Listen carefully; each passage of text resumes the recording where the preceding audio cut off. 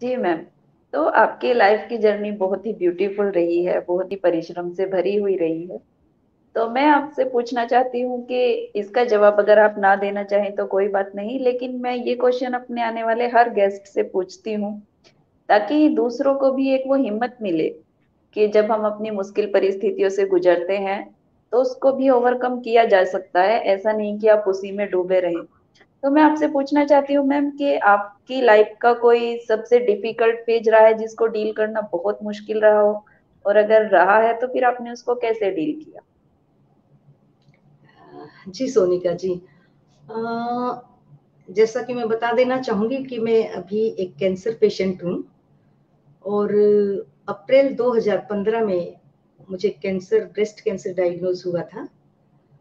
उस समय एक दिन एकदम से मेरे लिए बहुत शॉकिंग था, बहुत ही, क्योंकि मेरा लाइफ स्टाइल जो रहा है, वो बहुत ही एक्टिव रहा है। बहुत मैं योग, योगाभ्यास करती हूँ वॉकिंग में बहुत इंटरेस्ट रखती हूँ गेम्स वगैरह खेलती हूँ, हमेशा अपने आप को खुश रखने की कोशिश करती हूँ। खान पान मेरा अच्छा है, कोई ऐसी इस तरह की मैं चीज़ें बाज़ार की बहुत कम लेती हूँ। तो इसके बावजूद जब 2015 में अप्रैल में मुझे कैंसर डायग्नोज हुआ तो वो परिस्थिति वो मेरे लिए बहुत ही शॉकिंग था उस टाइम पे। आ, मुझे लगा कि पता नहीं मैं किस तरीके से पहले जैसा हो पाऊँगी या नहीं। और जिस वक्त मेरा ये पूरा ट्रीटमेंट चला मुझे कीमोथेरेपी मेरा ऑपरेशन हुआ कीमोथेरेपी के बाद मेरे सारे हेयर्स जैसे निकल गए थे। तो मुझे लगा कि मैं किस तरीके से अपनी इस हालत को लेकर मैं उन बच्चों के सामने उन टीचर्स के सामने सोसाइटी में कैसे जाऊँगी? तो ये मेरे लिए बड़ा डिफ़िकल्ट उस टाइम लगा। लेकिन मैंने सोचा मेरे अंदर ये बहुत मैंने दृढ़ संकल्प किया, मैंने अपने आप को मज़बूत किया कि मैं पहले से भी बेहतर बनकर, पहले से भी ज़्यादा स्मार्ट बन के पहले से भी ज़्यादा एक्टिव होकर उस सोसाइटी में, उस स्कूल में वापस जाऊँगी। और ऐसा ही मैंने किया और मैंने कभी पीछे मुड़ के नहीं देखा कि मुझे कभी कैंसर हुआ था और मैं ऐसी डिफ़िकल्ट स्टेट स्टेज से निकल कर आई हूँ, ऐसा मैं भूल चुकी हूँ। और अभी बहुत सारी लेडीज़ के साथ मेरी काउंसलिंग होती रहती है, जिनको भी ये इस तरह की प्रॉब्लम आती है कि वो कहते हैं, आप इतनी बिंदास और मस्त जीवन कैसे जी रहे तो मैं सबको बोलती हूँ कि जीवन और मृत्यु जो है, वो ऊपर वाले के हाथ में है। वो ज़रूरी नहीं कि मैं कैंसर पेशेंट हूँ तो मैं मौत के कगार पर पहुँच गई हूँ। अचानक से किसी का भी एक्सीडेंट होता है, वो अच्छा हट्टा कट्टा इंसान भी एकदम से इस दुनिया से विदा कर लेता है।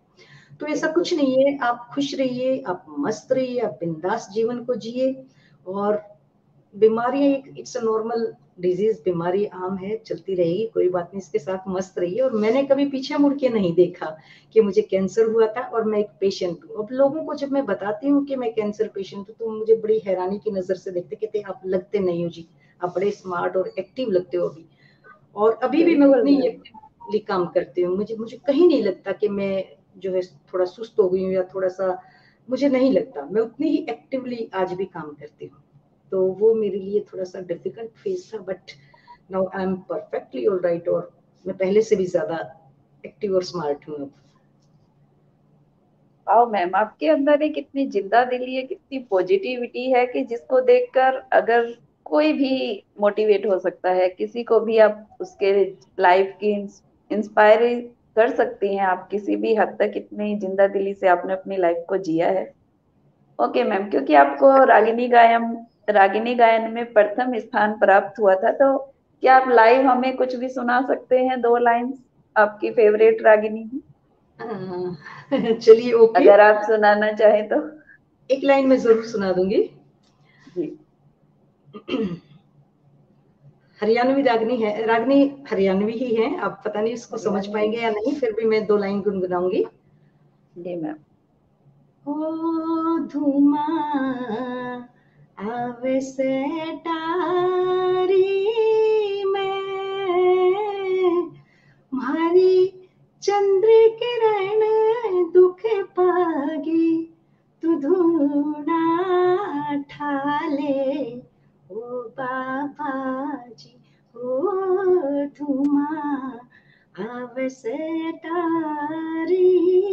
में।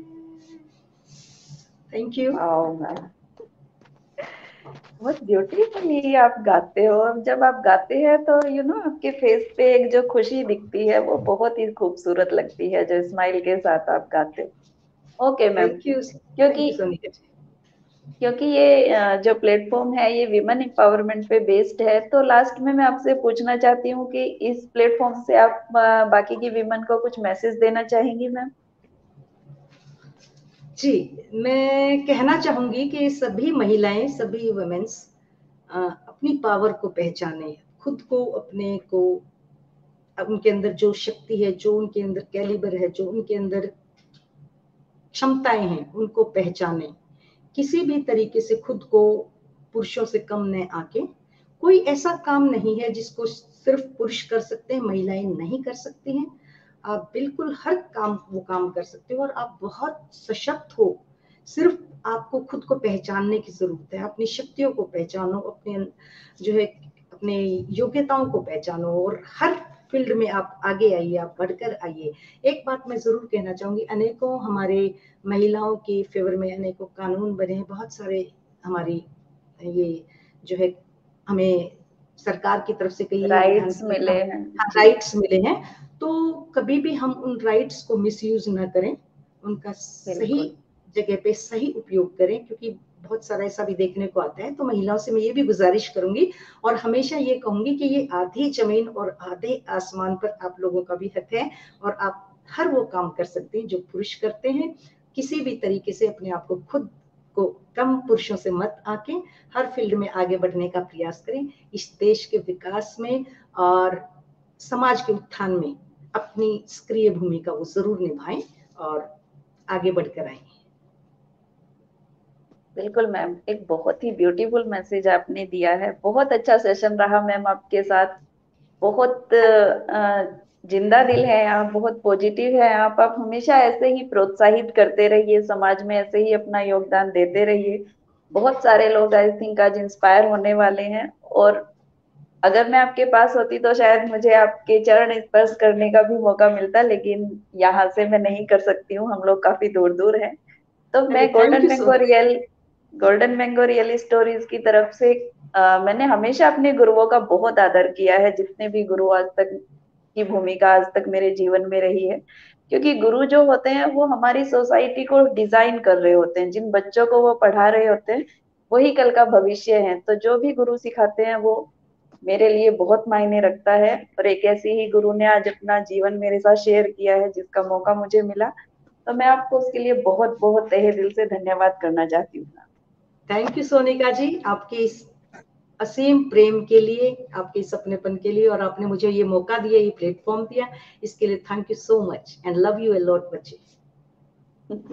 थैंक यू मैम तो इसी के साथ आज आपसे विदा लेते हैं और फिर मिलेंगे आपसे एक नई रियल सक्सेस स्टोरी के साथ। तब तक आप भी हँसते रहिए मुस्कुराते रहिए और स्वस्थ रहिए। धन्यवाद। Thank you so much